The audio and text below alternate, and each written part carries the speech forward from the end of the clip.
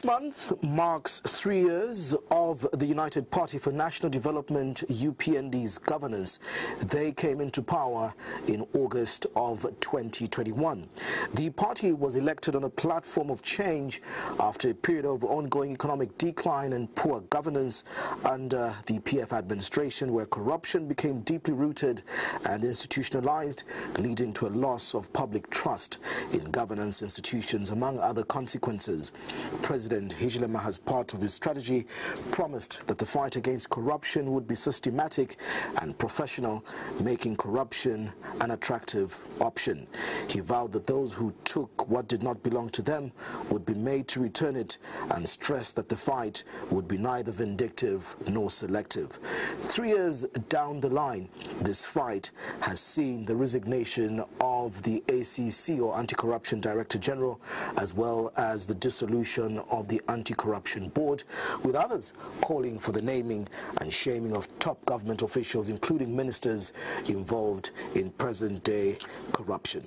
Tonight, we seek answers to question on whether we are on the right track in fighting corruption under the UPND administration and whether this fight is truly free from vindictiveness.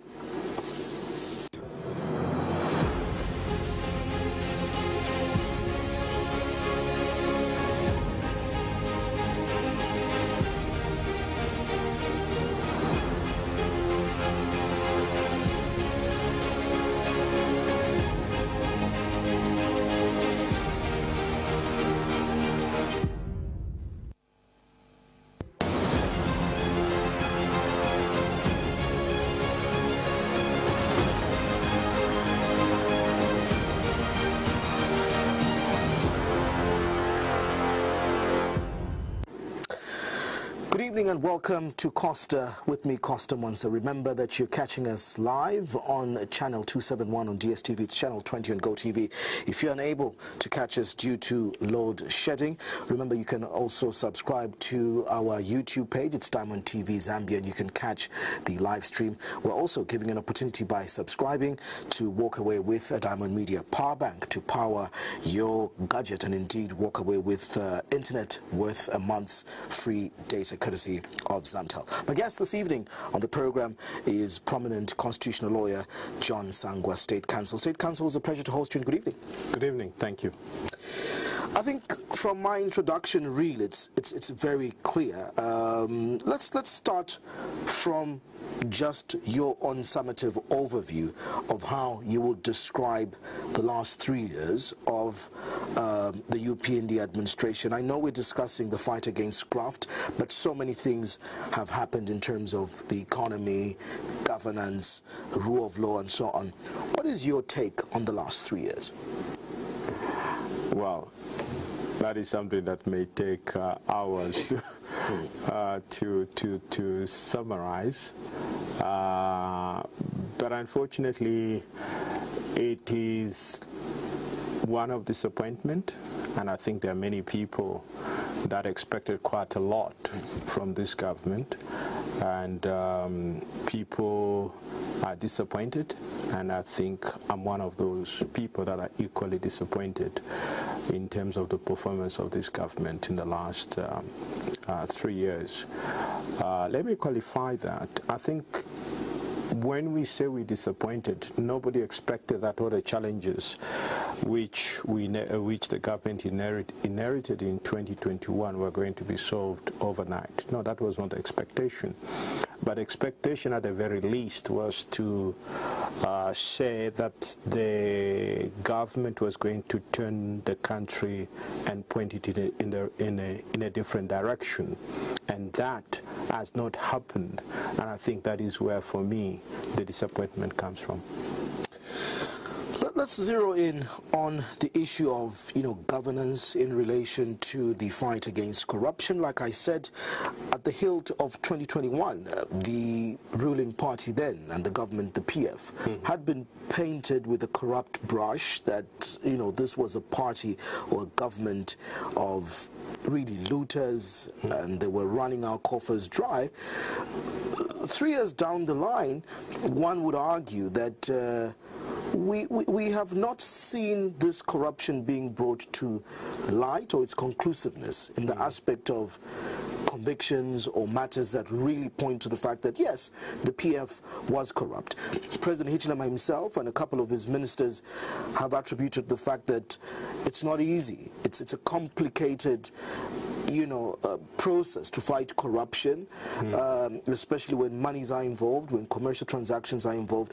So you cannot in three years really say you've rooted out corruption. Mm. Again, what is your take on efforts or strides made in the last three years on the corruption stage? Mm. Yeah, I mean, if you go to, I think it should be page 15 of the UPND manifesto, mm I mean, they clearly stated that they'll have, um, they'll implement a policy of zero, zero tolerance for corruption.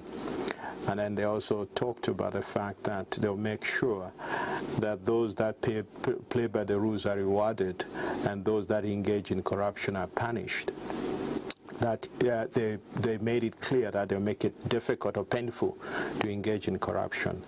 Now, these were just statements now. Uh, they clearly spelled that in the manifesto, but that is just the beginning. So the expectation was, how then do you realize those ideals?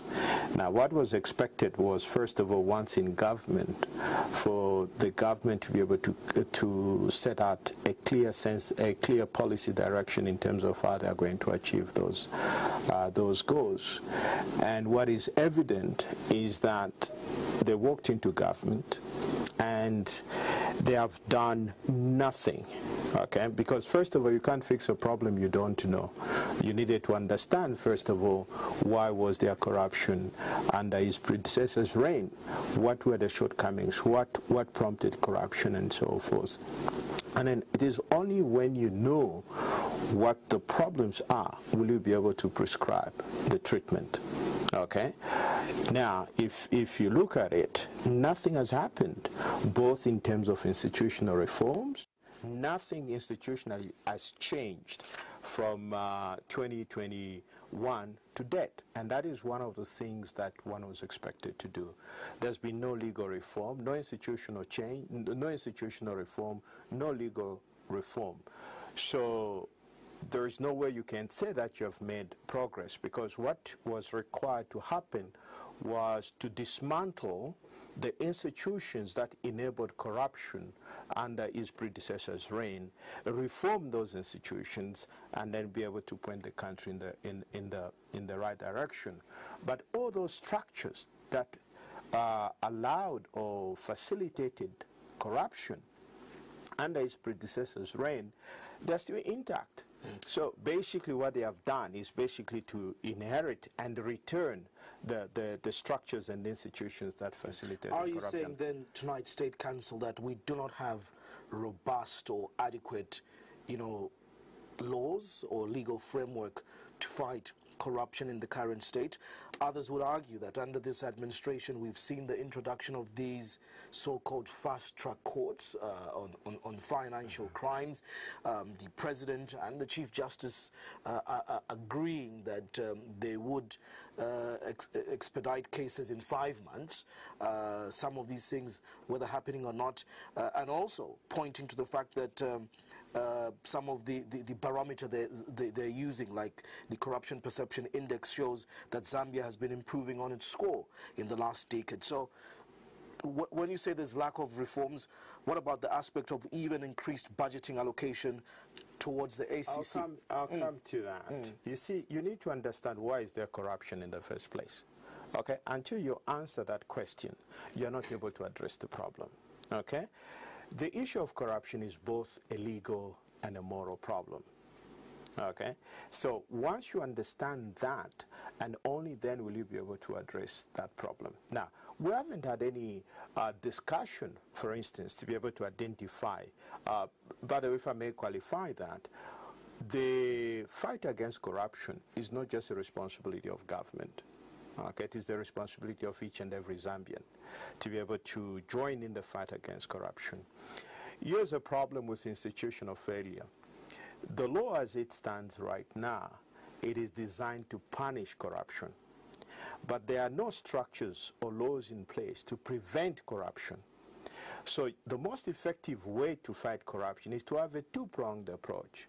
One, where you first of all put in measures to prevent people from engaging in, cor in corrupt practices so that prosecution is left for those that uh, the first system has failed to catch. Okay? Then in the process, you're going to have fewer cases to, to, to be able to prosecute. So that there's always a saying, prevention is always better than, than uh, finding a cure after the effect. So our system of, find, of fighting corruption is designed, it basically tells you, go ahead, take bribes, involve in yourself in corruption, just make sure you don't get caught. So how do we then prevent corruption from that two-pronged approach? What is what are you proposing? Oh, what should the policy or legal framework okay. be looking like? you know, the problem is this country is 60 years old right? And unfortunately, every president that comes to power, they think they're more intelligent than their predecessors, or they know better, or they are finding certain things that uh, their predecessors did not know. If you look at it, if you go back into history, you'll find that uh, uh, from 64 to 91, we had Kaunda's government, right? Then from 91 to 2021, we are the MMD government, to 2000 and, well, well, yeah. 2011, uh, yeah. we are the MMD government, right? If you look at each and every political party that has come into power, there's been subsequent attempt to prosecute people for corruption. For example, people were prosecuted during the 10 years of uh, Chiluba's government under President Mwanawasa. Then President Mwanawasa and his term was completed by President Rupia Banda. Certain people under during, who were in office during that time were prosecuted under President Sata. Now we have uh, 10 years of PF. Now these people who served under PF are now being prosecuted under this government. There is one anomaly that you find there. That is, the people that served under Kaunda, nobody was ever prosecuted for corruption. Okay. Is it to say that there was no corruption in the UNIP government? Kaunda was far more effective, more effective in prevention in preventing corruption. Okay, you have to go back into history. First of all, the issue of corruption is not new. It is something that emerged soon after independence. If you go back into history, you'll find that as at 1972, people were already talking about corruption because they realized that certain people whom they knew all of a sudden after, after getting into government, they, become, they became wealthy. If you check the report of the Chona Commission, which was published in 1973, they noted that corruption was a problem. And that is how they came up with the creation of the Office of the Investigator General. The primary function of the Office of uh, Investigator General was to address the issue of corruption. But Kaunda went further by providing for what they described as the leadership code. Okay? Under that leadership code, people that were employed in government, central government, local government, statutory bodies, parastatals were all required to declare their assets and liabilities. But that is still the case now. No, it's not. Mm. It's not.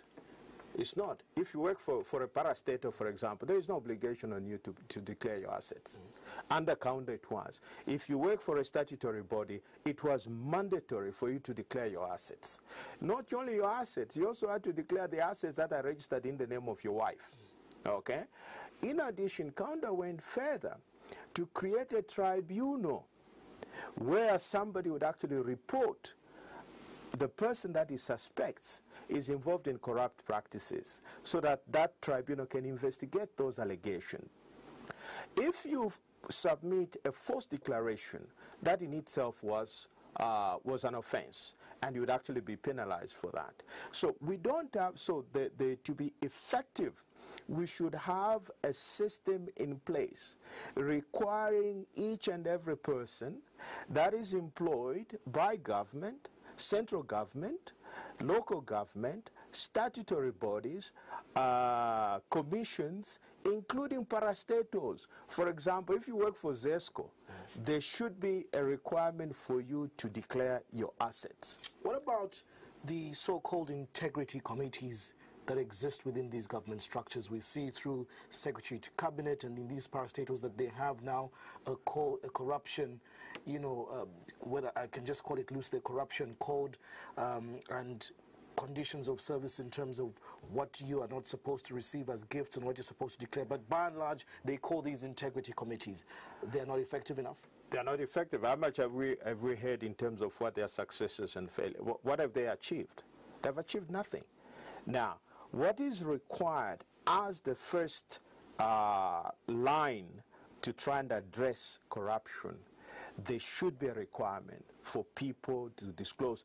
Those that don't want to disclose, then you shouldn't be employed in the public service. Then the question is, if, if, if, if that was a system that was working in yes. preventing corruption, yes. at what point and why then did we do away with it?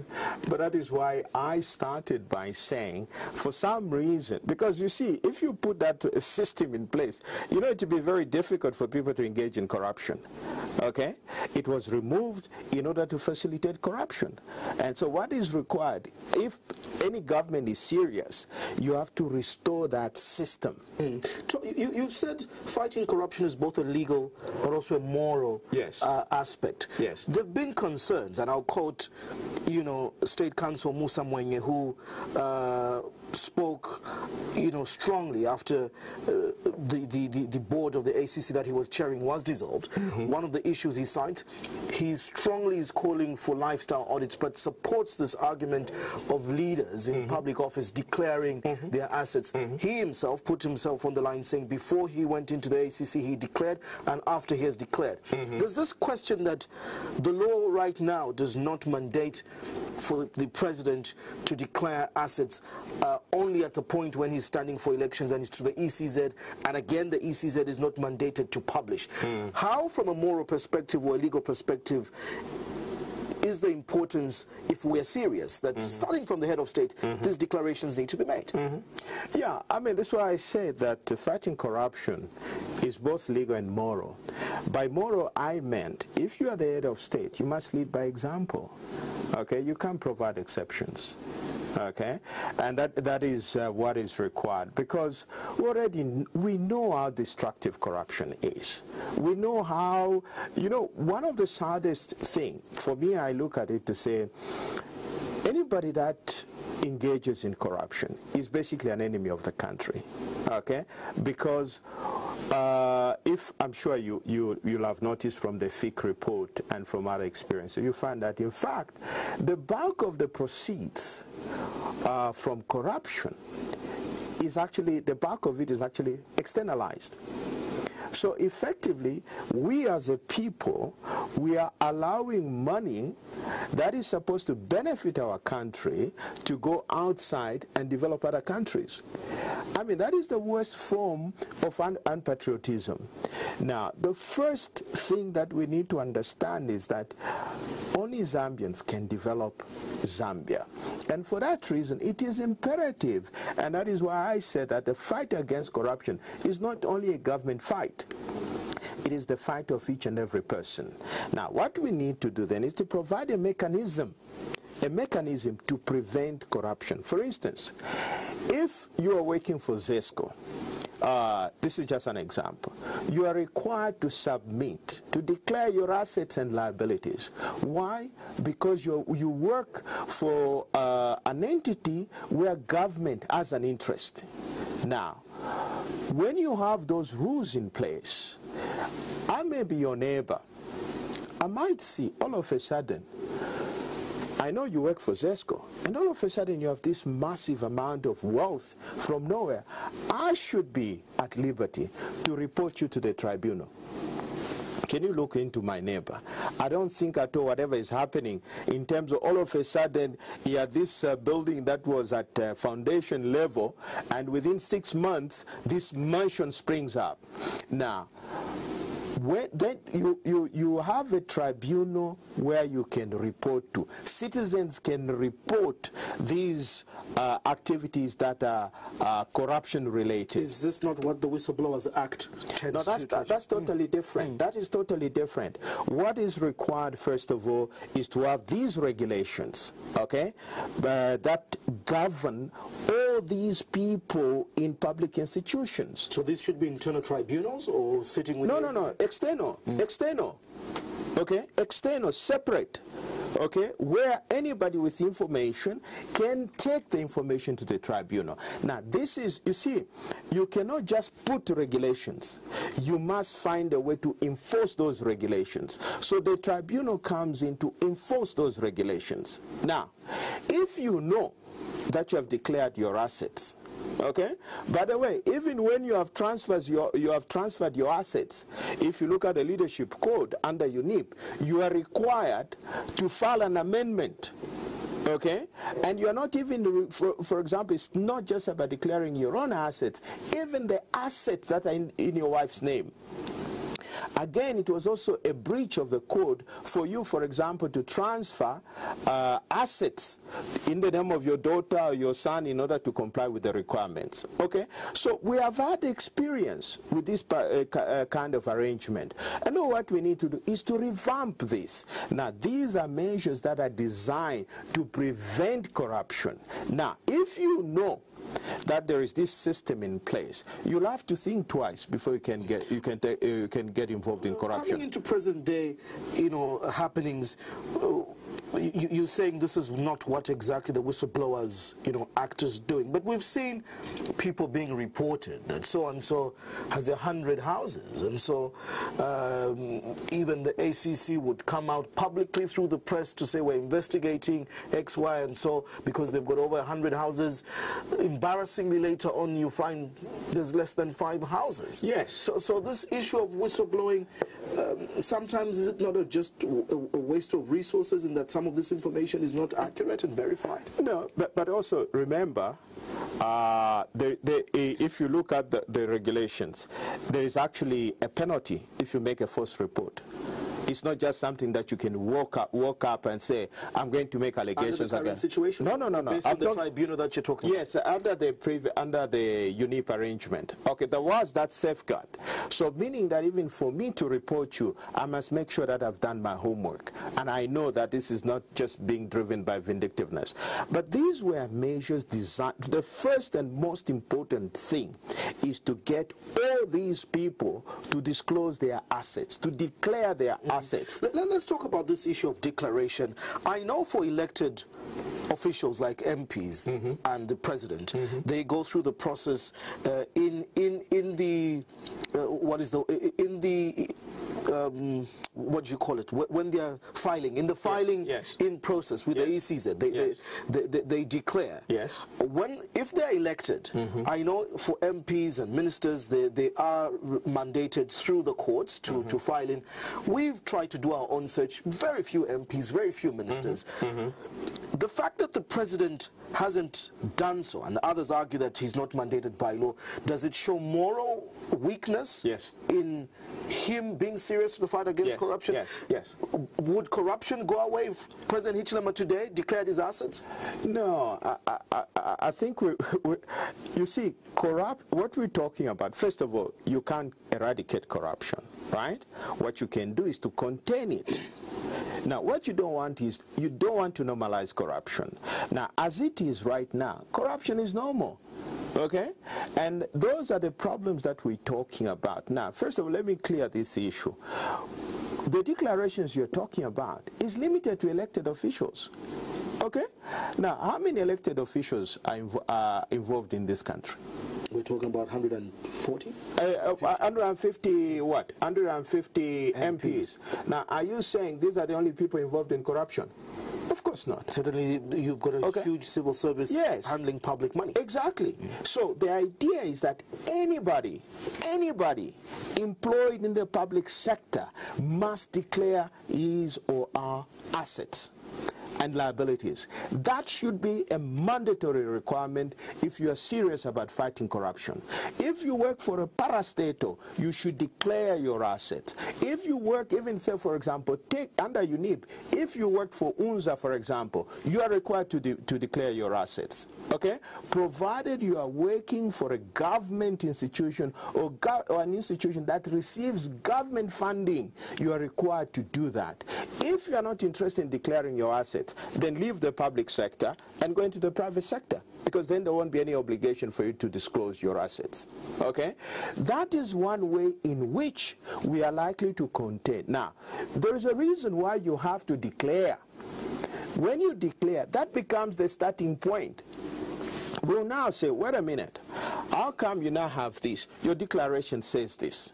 In the absence of a declaration, somebody can cook up a story as to where he got the money and everything else. But that declaration is a starting point. And when you acquire more assets, you also have to update that declaration.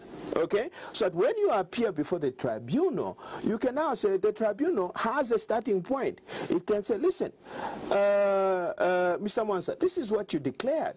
How come we have now found that you have this, you have this? Now, that becomes your reference point. No, I acquired this subsequently, but why didn't you update your requirement? So that measure is designed to prevent corruption, to serve as a deterrent. As long as people involved in uh, employed by government, employed in statutory bodies, employed in parastatals, employed in local authorities are not required to, to, to uh, are not required by law to declare their assets, the whole fight against corruption is a joke. That's the proposal you're making, but uh, I'd like to look. I'd like us to look at it this in, in two ways. Unfortunately for Zambia, if we, we, we want to gauge or say we're winning the fight against corruption, it, we, we call for the blood or conviction of politically aligned figures. Just like mm -hmm. you've given your historical perspective that mm -hmm. government in, government out, mm -hmm. only those that served in the previous are being, you know, um, mm.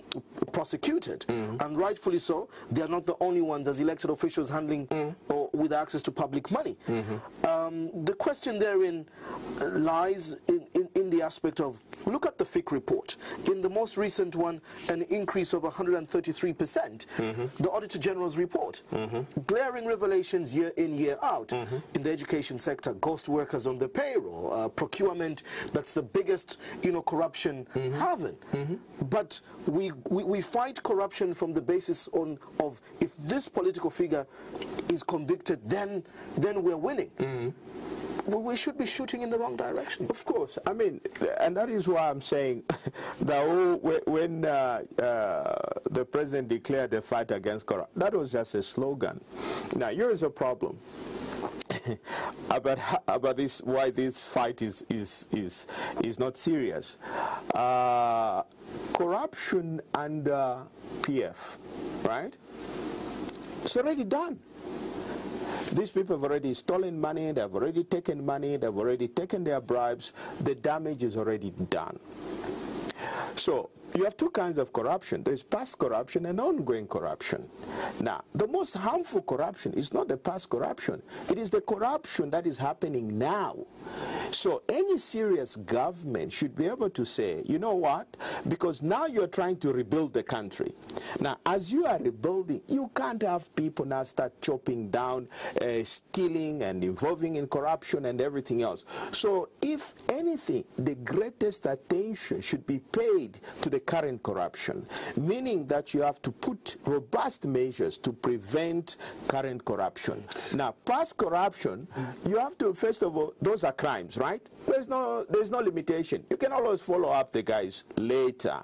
Uh, and you can, whatever, if you're talking about, uh, and then that becomes a matter of uh, recoveries and conviction and so forth. But the most harmful Corruption is what is happening today. We, we cannot have this discussion, State Counsel, without addressing the elephant in the room, like you say, present-day corruption. Yes. What has happened at the ACC is obviously as a result of that damning you know, uh, letter or, or, revelation that mm -hmm. was mm-hmm. released by one Dr. O'Brien Kaaba, mm -hmm. who was serving as a commissioner mm -hmm. on the ACC board. Mm-hmm. Days after after, um, we are told impeccably that um, the former board had engaged State House with a report on the fact that they felt sidelined on, on, on investigations mm-hmm. involving government officials, including aspects of forfeiture mm-hmm. that the Director General was involved in. Mm-hmm. And he blatantly refused to report and inform the board. And they didn't want to rubber stamp issues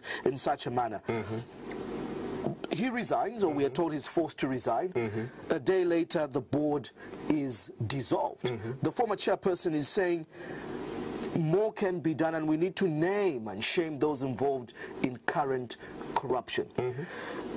Was forcing the, the, the former DG to resign and dissolving the board a win or showing that this administration is serious with, with, with corruption? Uh, well, that incident, if, if, if you had a very clear direction on how to fight uh, corruption, that incident would, should not have happened. The fact that it happened shows you that the whole fight against corruption is, is basically is not a serious fight. Let's go back to that particular incident. That incident reveals two things. First of all, there is a major flaw in the law right? In terms of the relationship of the uh, Director General of ACC and the board. There's a problem there, which, uh, like I said, when you're a new government, you should have carried out a review to find out, first of all, is ACC effective? And if it is effective, yes, you continue. But if it is not effective, find out why it is not effective. The fight that you saw between the board and the DG is a product of the law. Okay, it is it is a, a, problem that is created by the law. If you look at it, uh, for example, the current anti-corruption uh, anti uh, act was enacted, I think, in 2012. It creates a board now, if you check the law, nowhere in that law does it say the DG is answerable to the board. It doesn't. Okay? Who is the Director General of the ACC answerable to? The law doesn't say. B because we've been fighting for a law that creates autonomy, not even to report to the President, unfortunately, who is the appointing authority. Yeah. Yet we talk about autonomy through parliamentary ratification. Mm -hmm. But, but you still see the hand of the presidency. Okay, I'll, I'll come to that point. Mm. But you see, there's a problem which is a legal problem, a structural problem. That should have been addressed. Now, if you go back, first of all, this this law to do to do with the anti with anti-corruption was it was. Uh, that law was changed. Now, in 1996, the law was very clear as to the position of the, the, the commissioners. There was no board under the 1996 Act. So the commission consisted of the commissioners. The commissioners were the commission. And the director general was basically an employee of the commission. Okay? Therefore, under that arrangement, you have a stronger commission, and the commissioners have direct control over the affairs of the commission. And the DG reported to the commissioners. Now, some genius came up, I don't know how, who came up with this brilliant idea of, instead of commissioners comprising the board, uh, commissioners comprising the commission, they now created a board of commissioners. Now, that created a problem. Now, having created that, they failed to define the relationship between the DG and the board. Now remember, so both saying that the law at present is silent on who the Director General of the Anti-Corruption Commission reports to. That's where the problem is. Because, for instance, if let's say, I don't know whether, uh, if you look at section, uh, I think should be section 9 of the Act, it says the DG shall have control, control over uh, control, direction, management, and administ administration of the commission. That's what it says. And what does it say in relation to the role of the board then? Why have a board of commissioners? It's, it's basically the... the, the Is it not to oversee? No, no, it doesn't say that. If I have control, where do you come in? The law says I have control. The law says the DG has control over the commission. Surely it should have something said to, to, to bring a board to life. No, it doesn't. There- There should be a legal provision as to, as to how commissioners of the board are appointed and definitely what their roles and responsibility. Anyway, maybe you, you, are, you have a look at the act, hmm. and that is where the problem has arisen. Okay, so you now have now the impression created is like the board is simply there for policy. Okay, and then which the which the, the which uh, the commission uh, the DG has to implement, but the control, direction, and management and administration of the commission is the responsibility of the DG.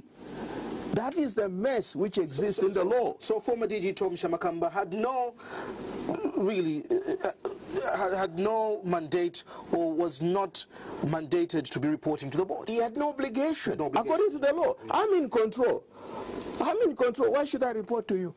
That's what the Act says. Okay? But previously, under the 1996 Act, it was different.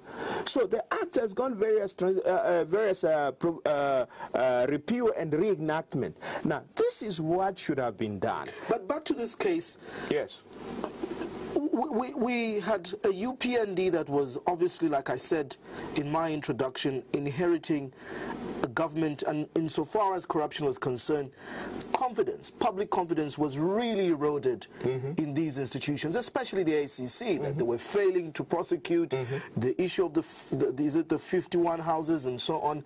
Now, three years down the line, you dissolve a board when you told us you look at the quality of the men and women of integrity I'm putting in these, you know, commissions, and you, you have a DG resigning, you have the uh, a former commissioner writing a damning report citing by name your Solicitor General who sues before the court, later says no, we're going into a consent.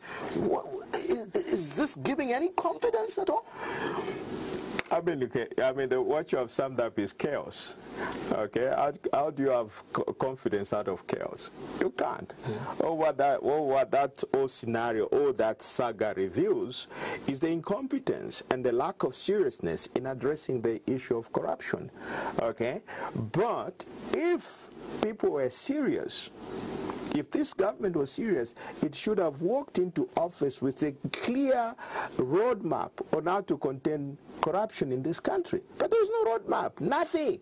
Okay, one of the first things that they should have done, because you see, I mean, if you walk in here, you find, say, for example, this is your institution.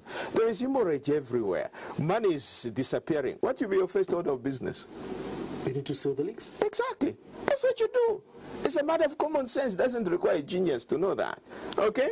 Why was there corruption under my predecessor's government? Where did my... But those are fundamental questions that anybody serious should be able to ask. Are, are we are we stuck then? Because just last week, one of the headlines was Chief Justice Mumba Malila saying we, we, we, we can do better, or we could, we could do much more uh, on on corruption and, and is it convictions? Uh, his deputy was not quite amused with the aspect of him saying convictions uh, in that light. But but but back to this issue really.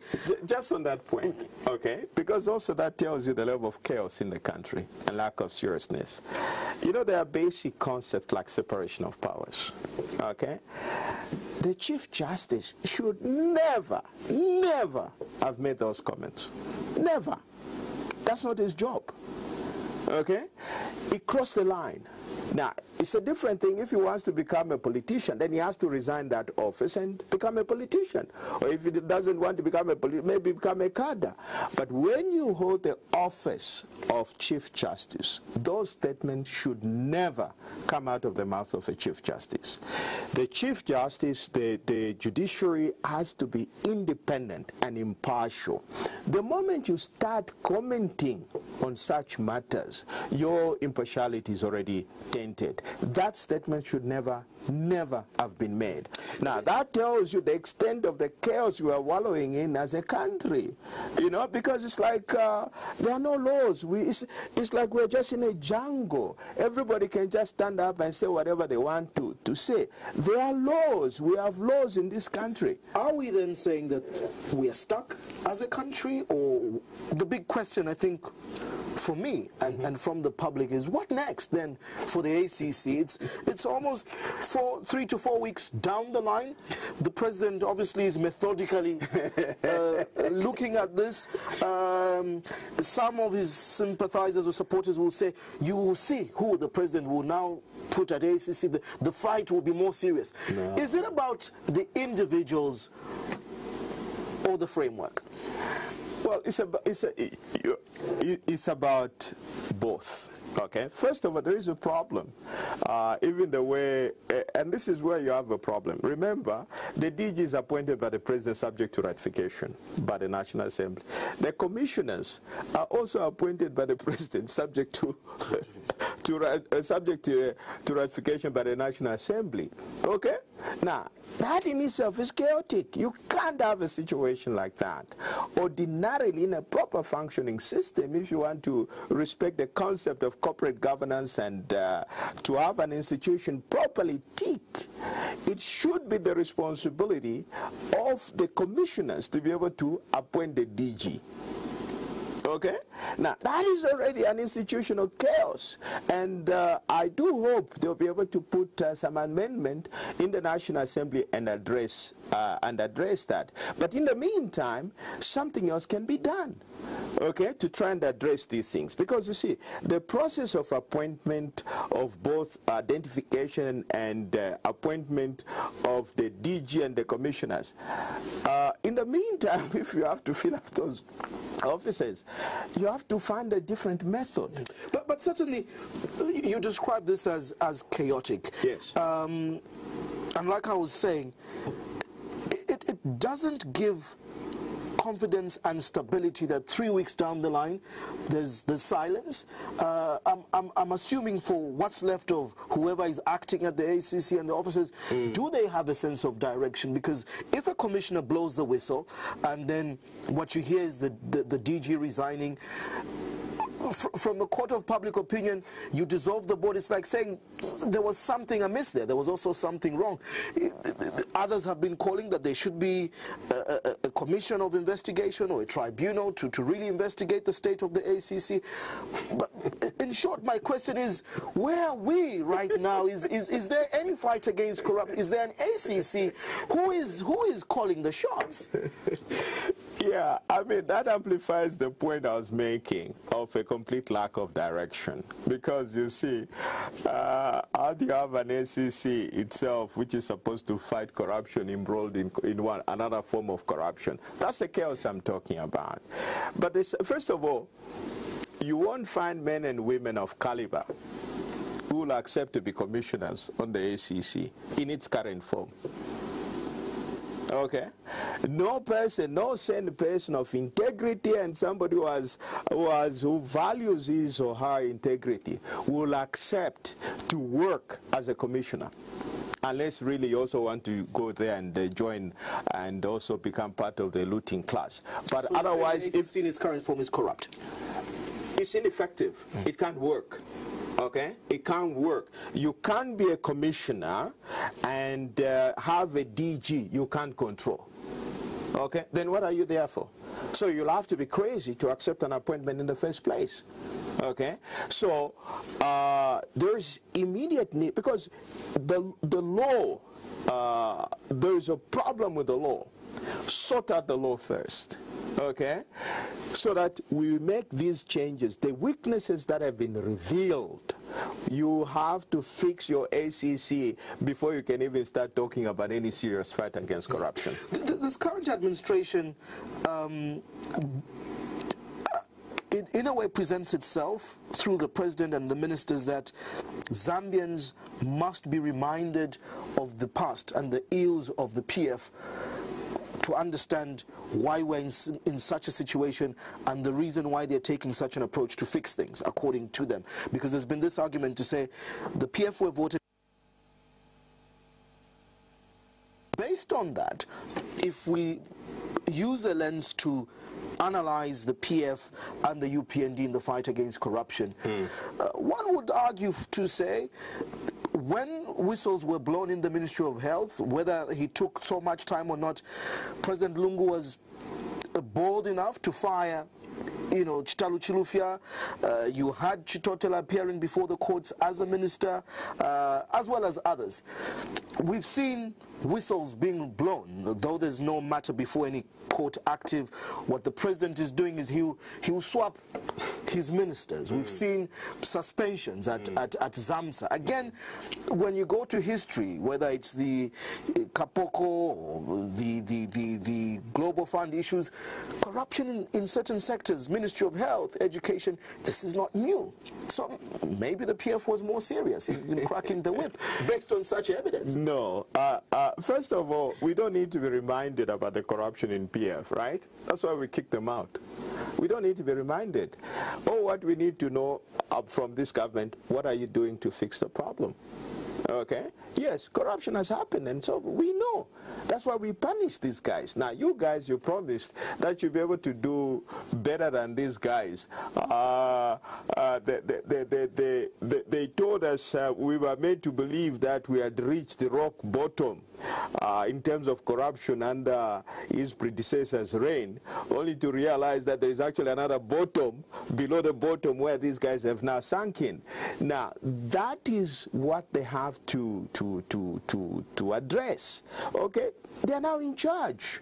Okay? President Lungu had his stint and everything else, and whatever history has recorded, whatever he did and failed to do. But these are the guys. Uh, the president is the captain of the ship, and that ship is sinking in corruption. That is the problem. That is the issue that he has to address. But the biggest problem that I can tell you is that these guys walked into office without any clear roadmap on how to fight corruption. That's the problem. Okay? Is, is this current administration then rooted in corruption? Is that what you're saying? Listen, if you find a corrupt system, why would you retain it if you're not corrupt? Why? In fact, if you're not corrupt, you are clean, you're above board, the first thing you will do is to dismantle that system. But they have retained that system. Three years on, there's been, like I said, there's been no legal reform, there's been no structural or institutional reform in terms of fighting corruption. Mm. Everything is intact. One of the things that brings debate, though it, or, or, difference of opinion, though it's it's it's enshrined in, in, in, a legal framework, is the aspect of the forfeiture of, of proceeds of crimes act, and I think this, these have been even the departure points that have caused this chaos um, in, in, in in the ACC between the former DG and the former board.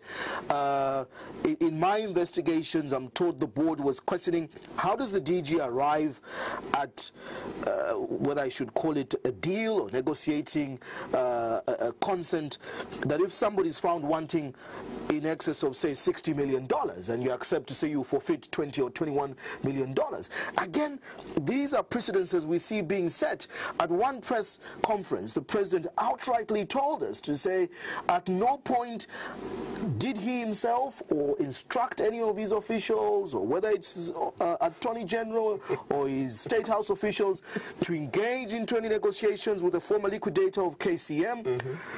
Months down the line, the Attorney General Chambers is entering into a consent and we're told again $26 million is, is being forfeited on, mm -hmm. on, on, some miscalculation. Mm -hmm. uh, now the president starts to tell us, first of all, we, we want to, to take back what was stolen, then we prosecute, you know, criminally. Is there something wrong with this forfeiture act? There may be not there there there there may be not, there may be nothing wrong with the act, right? The problem is always how you implement the act. Or is it being abused? Yes, it is abused. It is abused. The problem is more about abuse. I have never been a fan of that particular law because at the end of the day, there can be no forfeiture of an asset without a conviction. Okay? at the end of the day, the starting point is that whether you agree to when you if you agree to forfeit a certain asset, there must be an admission of guilt of having committed a crime. At the end of the day, you must have a criminal record there is no way you can, I mean, it, it's just a nonsensical. It doesn't even make sense that somebody can agree to say, okay, I'm surrendering this money, and then I walk away a free person. Where? Where? Where on earth is that even possible? Mm. Only in Zambia. The point which is the first in any, any properly run system, if you are serious about fighting corruption, the first thing is that you must admit that you committed a crime. Mm. Okay? Now, your, your surrendering that asset can, should only be considered as a way to mitigate the sentence or whatever the penalty that is supposed to happen. But there is no way you can admit of having committed an offense and then you simply pay the money and walk away. What you're basically sending, the message is that, you know what, if you have to get involved in corruption and everything, make sure the proceeds are huge so that at the end of the day, you simply surrender a portion and walk out. This is being sent to the public, really. yes. Of all the prominent cases that have come out, is it the 65 million that was found in some home in Ibex Hill? Mm -hmm. The government says, yes, uh, this money uh, has been forfeited. We are going to pay school bursaries. And uh, probably that's the end we hear of it. Yeah. Um, we are told uh, the, the liquidator was uh, moving monies from KCM account into personal accounts you will see what will be revealed. Let's just wait. Something is about to be told. The government is entering into a consent. The, the gold scandal, again, it was the same issue. We were being told Zambians should just wait and see what yeah. will happen. Yeah. We, we, we, uh, uh, uh, case has gone cold. Yes. And I, am happy that you gave history and you, you've been part of some of these things. It reminds me of Levy Mwanawasa's prosecution or persecution of former President Chiluba. What did we benefit as a country at the end of the day? Suits and shoes?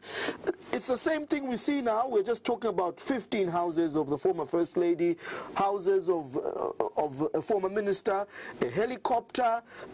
That's our fight against corruption. Yet the Auditor General's report and the FIC report tell you millions of kwacha being looted. Yeah.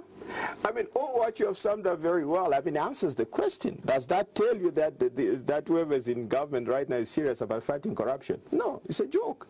They're not serious. Okay? They're not serious. Facts speak for themselves. There is nothing that has happened in the last three years that would give you confidence that we're on the right path in terms of fighting corruption. Okay? In fact, the truth of the matter is that these guys have just inherited the same institutions that facilitated corruption and simply uh, perfected the institutions. That's what is happening. Away from the the example that you gave in terms of what happened in the UNIP era of mm -hmm. declaration of assets mm -hmm. at at all levels within the civil service mm-hmm. and tribunals. Mm-hmm. What then should we be doing at this moment if the system is not robust enough? Yeah, that would be the starting point, first of all, is to, to, to, we should have this kind of conversation, first of all. Corruption should be raised so that it becomes part of the national conversation, okay? Because, I mean, I just fail to imagine how this is even possible, okay? Because these people that are involved in corruption are basically traitors to this country. You are damaging your own country. Okay, like I said, the bulk of the money is actually externalized.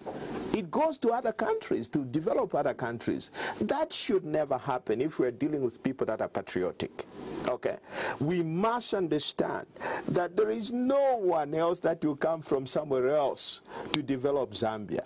We have a responsibility to develop Zambia, which means that we have to look after each and every kwacha, each and every way to make sure that it is properly utilized and for the benefit of the country. Now, and all the resources, but if, even the resources, I mean, there was that story of that, uh, was it 60 million hectares of land?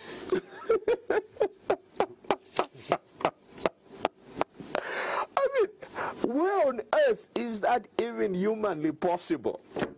That you can decide to give away 6 million, I don't know, acres, 6.8 million uh, acres or hectares of your own land to a foreign investor. I mean, I, I mean, and these are normal human beings, and they can proudly talk about this as a deal characters like that belong to, eh, they're supposed to be in jail because these are saboteurs. They are damaging the country. You know, it's not even normal. The, the, the, the government clarified that that was an intent, obviously, of which the proposal has been rejected. First of all, why would you even entertain that? It's insane. It's insane.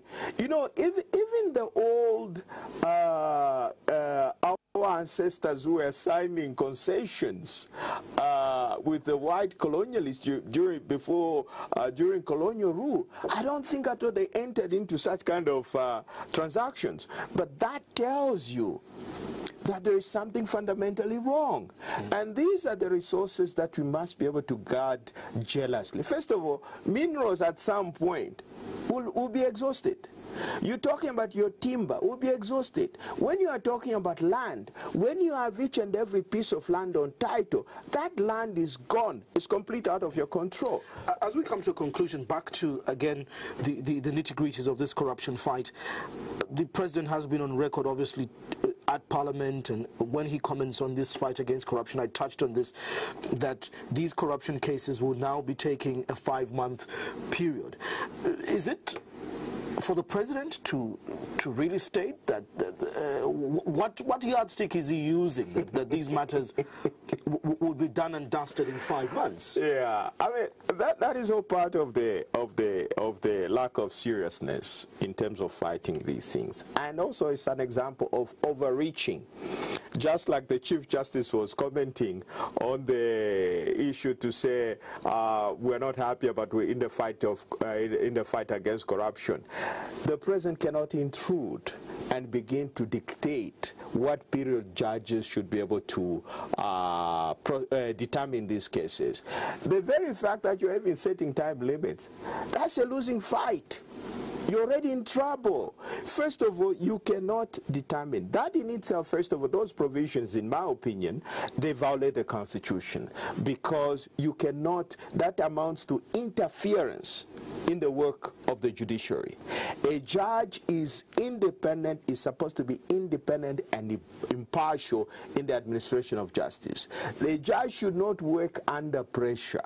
In any case, it's just crazy mm. that you can set a five-month uh, limit. What was the basis? What was the reference point? Is this, is this government really playing to the gallery? Because when they talk about achievements and successes scored, um, the Access to Information Bill, for example, is one of them. And, and I refer to it because then they're saying they're laying transparency on the table. when the former board is calling to say we should be able to name, mm -hmm. you know, um, top government officials, including ministers, being investigated or mm -hmm. allegedly involved in corruption. Mm -hmm. The ACC itself acknowledging that they're investigating mm-hmm. um, certain government officials, including the Solicitor General. Is this government trying to hide something that then they, they why can't we name? Mm -hmm. Yeah, officials being investigated in, in, in it, it, boils down to issues of lawlessness. Okay, first of all, the biggest culprit here would be the president because he's overreaching okay, he's doing things because uh, I don't think at all he checks the law before he comments on these things. For example, if you look at Section 5 of the ACC Act, it clearly says that the ACC is independent, is not subject to the direction or control of any authority. Therefore, the president cannot even begin to talk about what they should do. If the ACC feels like it ought to name those people, they have to because they are independent. The president should not even give instructions. Again, coming back to this example, in the genesis of the ACC, the ACC was created in 1990. The law was very clear that the ACC was a department of government reporting to the president. In that case, yes, it's correct. The president can give that instruction. But currently, the ACC is an independent organ. It is not subject to the control of anyone, not even the president. Now, the whole idea what is... What about the Gazette that is always argued over in terms of the investigative wings falling under the president's office? That is again uh, another misconception. What it says is that uh, well, this is I know about the statute you're talking about. That statute simply talks about the functions of the president. For example, uh, they will list what are the powers of the president, right, under the ACC Act. You find the ACC Act will appear there. Why does it appear? Because the president is responsible for the appointment of the DG and the board. That's the only reason. It lists the functions of the of the president. It does not mean, therefore, the ACC becomes under the control of the gov of the president. No, that's not what it means.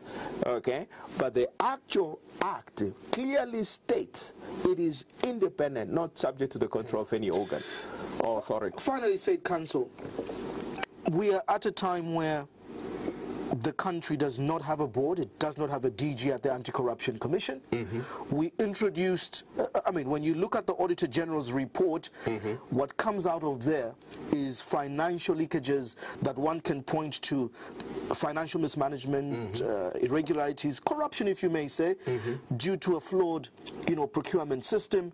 Money is leaving the country, like you've said, revealed through the FIC report in terms of suspicious transactions and flagged banking transactions. Mm. I've referred to procurement because there was a recent introduction of the EGP system, mm -hmm. which sadly just last week we are hearing backtracking that now the system either we should do away with it, uh, even huge sums of monies that are being pumped in in the name of decentralization and the CDF. We are now saying let's bring in political appointees called DC to have a say in this. Mm. Chaos. Mm -hmm has corruption in this country become so endemic and rooted that we are so stuck we can't get out of it?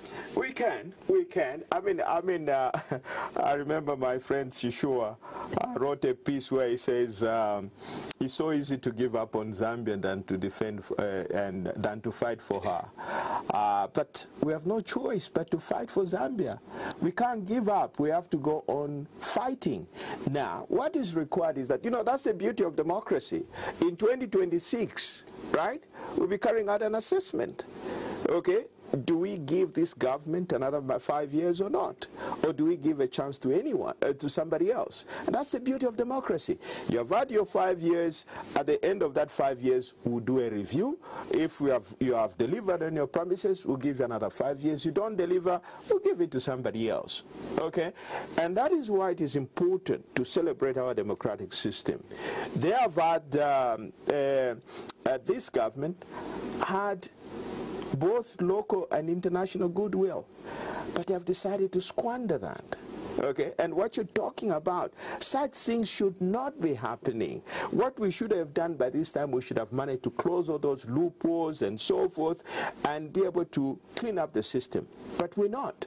Okay, and I mean, like I'm saying, you can have, when you're talking about, uh, is it uh, e-system that you're talking the, about? Yeah, the EGP, the Electronic Government Procurement System. All governments are moving towards electronic systems. Okay? Because they try, they, they, they constitute a means of curtailing corruption and wastage. Okay. That is the way we should be able to, go, we should be going. But unfortunately, there is resistance. But what is required is to stick to those, uh, to those uh, ideals and be able to fight. And unfortunately, the fight against corruption is not something that we can give up because the damages that are being done, the damage that is being done by corruption is incalculable. Okay, we have no choice but to continue fighting. You know, so uh, uh, uh, like I said, I'm not one that believes in simply criticizing. I would suggest that the first thing, the first thing, if this government is serious, is to require all those who work in government, government-related institutions, government institutions that receive funding from government to be required to, to declare their assets. Now, that in itself would be a deterrent against corruption. So we shouldn't, uh, the, the system is designed to fight corruption once it has occurred. Okay? Now, it's not everybody. So if you are lucky, you are not caught by the system. You go scot-free. But we need a system that prevents corruption in the first place. Okay?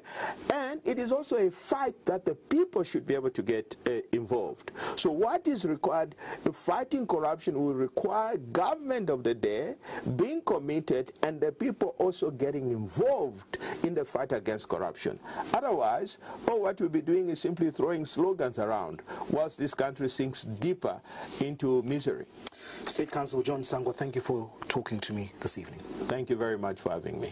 We've been discussing three years of the New Dawn administration in relation to the fight against corruption. My guest, State Counsel John Sangwa. Remember, it's live on Diamond TV Zambia. That's our YouTube page. Um, subscribe if you've not yet subscribed, and obviously stand yourself a chance to be lucky. You could be walking away with a Diamond Media power bank and uh, one month's internet data courtesy of Zamtel.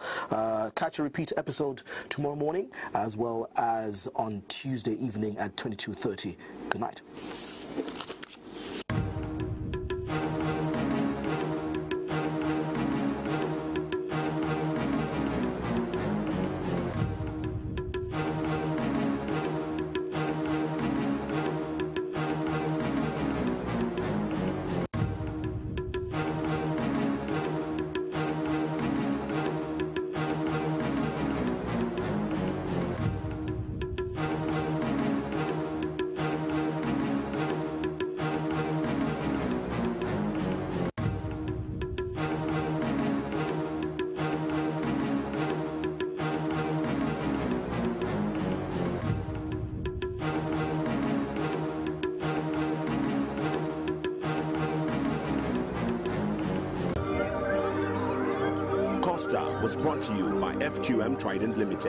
Subsidiary of First Quantum Minerals Limited.